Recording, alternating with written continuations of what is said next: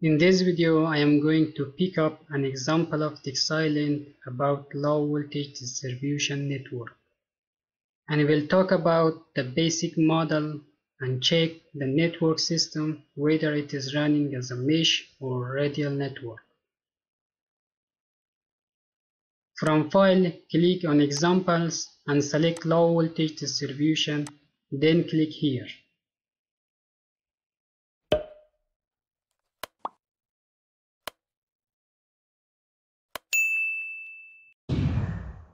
You will see two diagrams.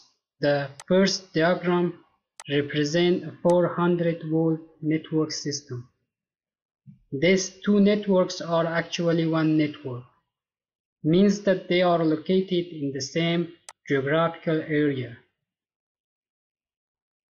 The 11 kilovolt diagram shows the line diagram of medium voltage network system which can be as a feeder for low voltage network system 0.4 kV diagram. If we zoom a part of this network system, we see that all these low voltage loads are fed from this substation. To know the inside line diagrams of this substation, double click it and you will see the medium voltage part of the network, transformer, and the low voltage parts. In low voltage part, there are a number of outgoing feeders. If you double click on one of the arrows at the bottom of feeders, you will see the 400 overview diagram will automatically be opened and marked as red color. This substation that you see here is actually the same as substation which is in 11 kilovolt diagram. For example, if you want to see the location of this substation in 11 kilovolt diagram, right click, then click on jump to the next page and select 11 kilovolt diagram then click OK. Now you can see the substation in 11 kilovolt diagram and this is also fed from 33 kilovolt substation. The bigger circle that you see here represent a substation that change the rate of 33 kilovolt to 11 kilovolt. As an example, if we double click on one of these substations,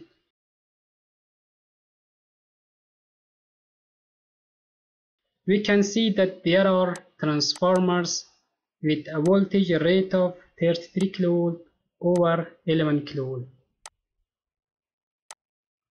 Each of these feeders represent voltage rate of 11 kV. The same as before, if you double click on one of these outgoing feeders, you will see the location.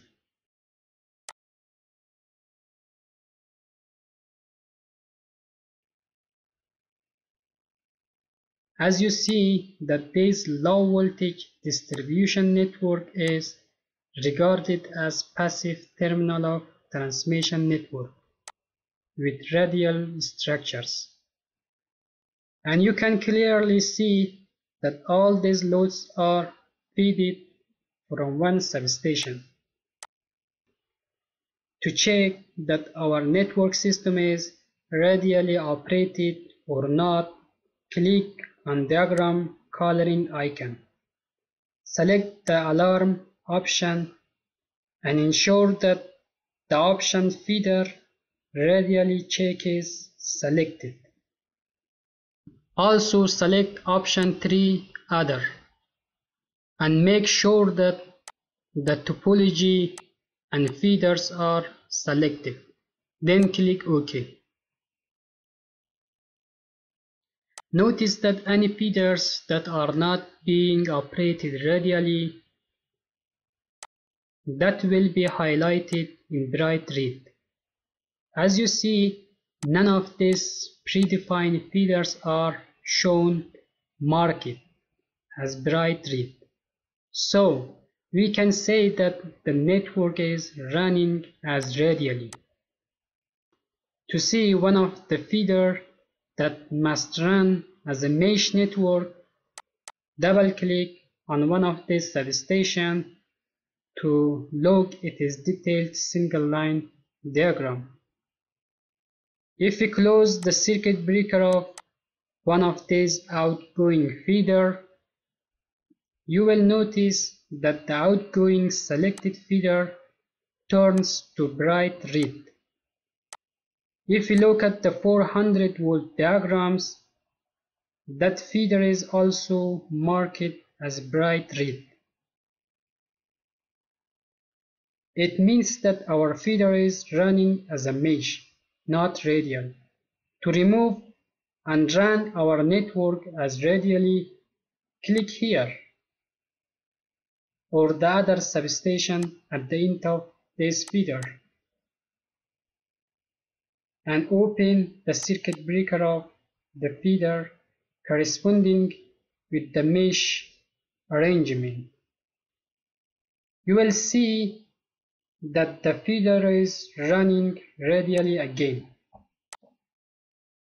If we return back to our 400 volt network diagram, you will notice that none of the feeder is marked as bright red.